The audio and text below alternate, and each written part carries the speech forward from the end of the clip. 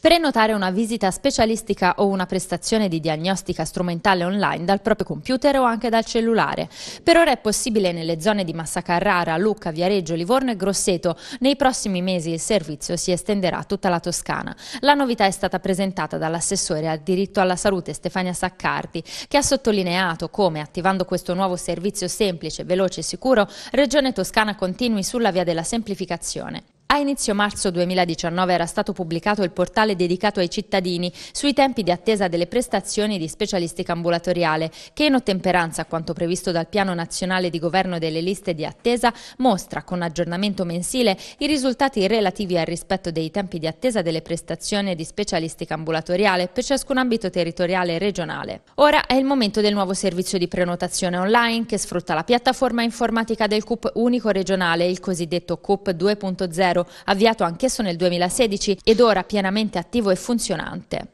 Sul fronte sanità ci sono altre novità, a partire dalla decisione del Presidente della Regione Toscana Enrico Rossi di procedere al cambio della direzione regionale. Chiuso il contratto con Monica Calamai, l'incarico è stato affidato a Carlo Tommassini, che per nove anni ha diretto l'azienda ospedaliera universitaria Pisana. Questo è il commento dell'assessore regionale alla salute Stefania Saccardi. Guardi, noi abbiamo professionisti di grandissimo valore, sia la dottoressa Calamai che il dottor Tomassini che è arrivato stamani in direzione, sono professionisti di grande valore, il nostro lavoro andrà avanti in continuità con il lavoro fatto dalla dottoressa Calamai, che è stato un lavoro di grande pregio su, su tanti aspetti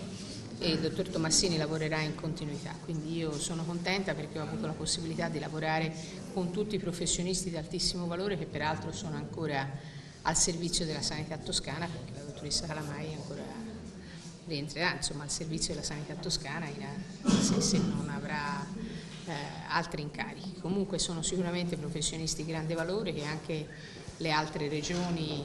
e le altre sanità cercano e questo è un titolo di, di merito per la nostra sanità e quindi mh, mm, sono convinta che il lavoro della direzione dell'assessorato andrà avanti, continuerà ad andare avanti bene come è stato fatto negli ultimi negli anni.